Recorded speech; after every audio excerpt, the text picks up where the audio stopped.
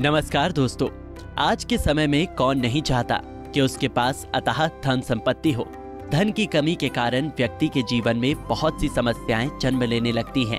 पैसों की तंगी के चलते घर में लड़ाई झगड़े होना तो जैसे कि आम बात ही हो गई है। ये छोटे मोटे झगड़े कई बार इतने बड़े बन जाते हैं कि व्यक्ति ना चाहते हुए भी गलत कदम उठा लेता है। लेकिन कहते हैं कि समय एक जैसा नहीं रहता, बदलता ज़रूर है।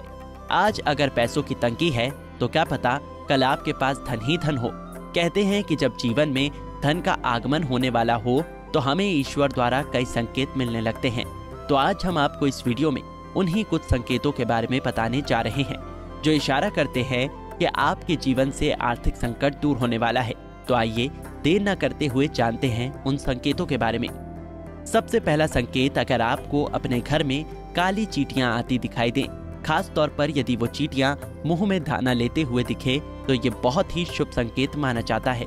कहते हैं कि काली चीटियों का झुंड अगर आपके घर में आए तो समझिए कि आपकी सभी आर्थिक समस्याएँ दूर होने वाली हैं और आपके ऊपर माँ लक्ष्मी की कृपा होने वाली है।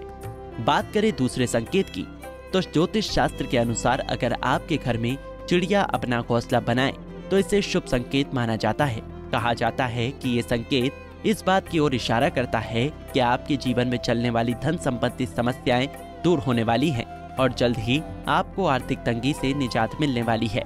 अगले संकेत के तौर पर आपको बता दें कि घर से बाहर निकलते समय अचानक अगर आपको कोई झाड़ू लगाता नज़र आए तो समझ लीजिए कि ये आपके लिए अच्छा संकेत है। ये आपके घर में धन के आगमन का संकेत होता है। इसी के साथ अगर घर से निकलते समय आपको कोई गन्ना लाता नज़र आए तो ये भी बहुत शुभ संकेत माना जाता है। ये इस बात की ओर इशारा करता है कि आपके जीवन से आर्थिक संकट दूर होने वाले हैं। आगे आपको बताते चले कि यदि आपको कुत्ता, मुँह में रोटी या फिर कोई अन्य शाकाहारी चीज़ लाते हुए दिखाई देता है तो इसे बेहद ही शुभ माना जाता है कि आपके जीवन की सभी आर्थिक व अन्य परेशानियों की समाप्ति का संकेत देता है।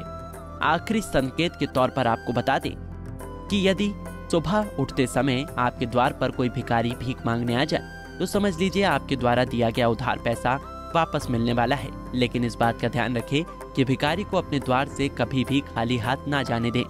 तो दोस्तों, अगर आपको इनमें से कोई भी संकेत मिला हो तो हमें कमेंट करके ज़रूर बताएँ। कुंडली टीवी डेस्क से तानिया की रिपोर्ट। इसी तरह की और भी जानकारी लेने के लिए हमारे चैनल को सब्सक्राइब करें और नई वीडियो की नोटिफिकेशन के लिए बेल आइकॉन दबाएँ। अगर आप ये वीडियो फेसबुक पर देख रहे हैं तो वीडियो को लाइक और शेयर करें।